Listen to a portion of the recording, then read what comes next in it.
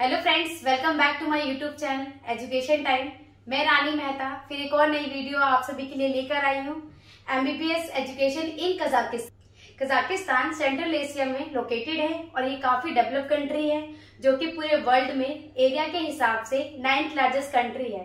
और कजाकिस्तान की जो कैपिटल है, वो अस्ताना है। कजाकिस्तान में मेडिकल स्टडी करना बहुत ही अफोर्डेबल है। कजाकिस्तान की मेडिकल कॉलेज ग्लोबली रिकॉग्नाइज्ड है as well as N M C W H O and UNESCO से भी अफिलेटेड है। यहाँ के कॉलेजेस के पास world class infrastructure and facilities है और कॉलेजेस के अपने खुद के हॉस्पिटल्स है, जिसमें स्टूडेंट्स इजीली प्रैक्टिस कर सकते अब बात करते हैं यहाँ की लैंग्वेज की तो यहाँ पे मोड ऑफ़ टीचिंग इंग्लिश है। कजाकिस्तान में स्टूडेंट्स के लिए स्मॉल बैचेस बनाए जाते हैं, जिसमें ट्वेल्व टू फिफ्टीन स्टूडेंट्स होते हैं, जिससे स्टूडेंट्स के ऊपर इजीली फोकस किया जाता है।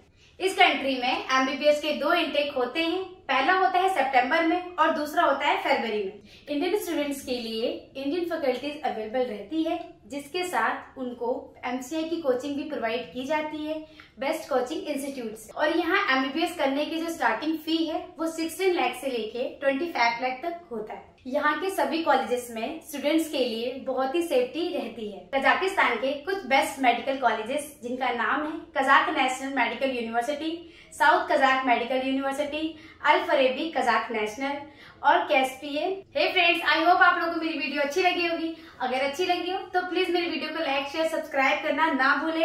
इन्फॉर्मेशन लेने के लिए या फिर एडमिशन लेने के लिए, मेरे स्क्रीन पर दिखाए नंबर पर कॉन्टेक्ट करें। Thank you